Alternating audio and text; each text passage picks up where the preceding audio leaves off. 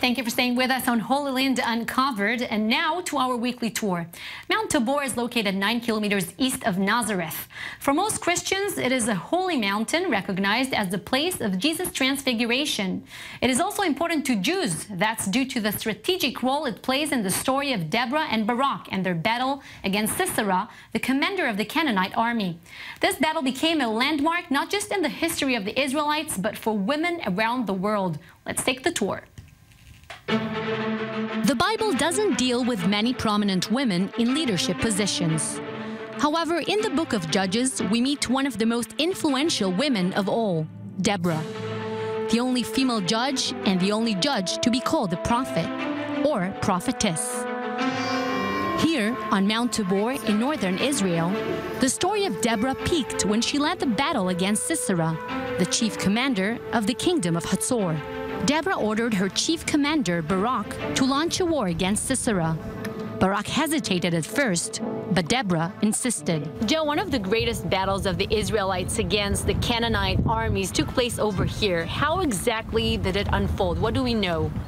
We know that uh, after 20 years of uh, subjugation by King Yavin of Chatzor, one of the Canaanite tribes, and his general Sisera, that the Israelites uh, tried to uh, fight back.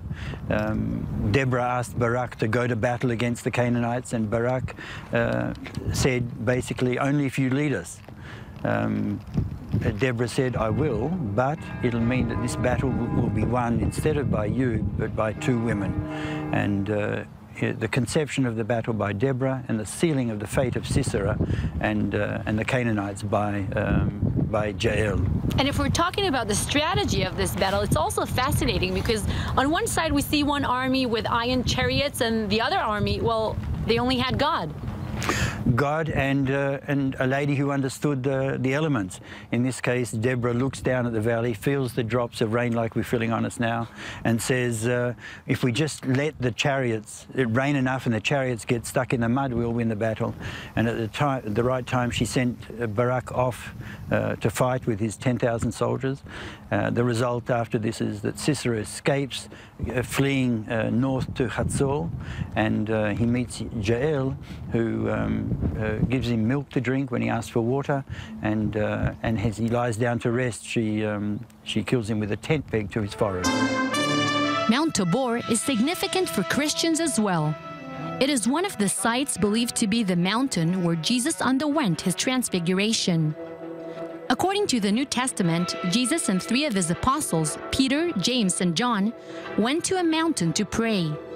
On the mountain, Jesus begins to shine with bright rays of light. Then the prophets Moses and Elijah appeared next to him, and he spoke to them. Jesus was then called Son by a voice in the sky. Joe, what does the voice in the sky tell Jesus?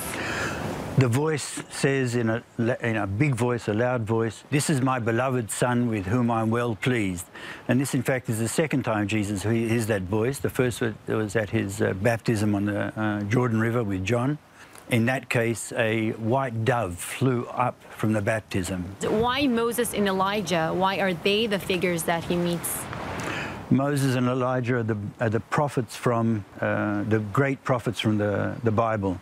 Uh, Moses representing the law, the law that he brought down from Mount Sinai. And Elijah um, always played the part of the morality, the man who came to the kings and said, you can't behave this way, and came to the people and said, remember God, forget, forget the gods of, uh, of Baal. Mount Tabor became a major site for pilgrims. On its peak, we can see the remains of a fortress from the Crusader era. Two important churches were built on top of the remains the Church of the Transfiguration and the Eastern Orthodox Sanctuary. Tell us a bit about this church here behind us. It seems a bit modern. The church is modern. It was built in the last century by, uh, uh, designed by Antonio Barluzzi, the Franciscan Catholic uh, architect.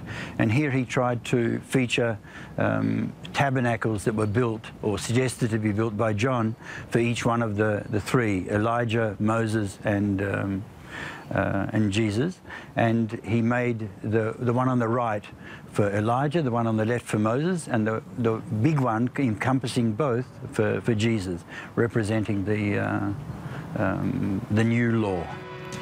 The end of the battle between Deborah and Sisera brings us one of the most known texts of the Old Testament, the Song of Deborah. The prophetess praised the victory of two substantial women, herself and Yael the warrior. Shelby, we're standing here on top of Mount Tabor watching over the village of Daburia, also named after Deborah. Her song was indeed inspiring, but what was the essence of it?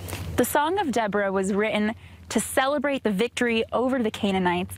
And many scholars believe it's actually one of the oldest texts written in the Bible. Many believe it was written in either the 11th or 12th century, making it written hundreds of years before the rest of the book of Judges where it's found. Now, the song itself is supposedly written by Deborah, describing the battle efforts. We find passages that say, Wake up, wake up, Deborah, wake up and sing out in song. And that's showing how her job as a leader in the community would have been to sing war chants, inspiring people to go into the village. We also see passages saying things like, Highways were abandoned, travelers took to winding paths, and villagers in Israel would not fight until I, Deborah arose until I arose, a mother in Israel. From Queen Esther to Mary Magdalene, women were mentioned in the holy books as key figures who stood up and made a difference.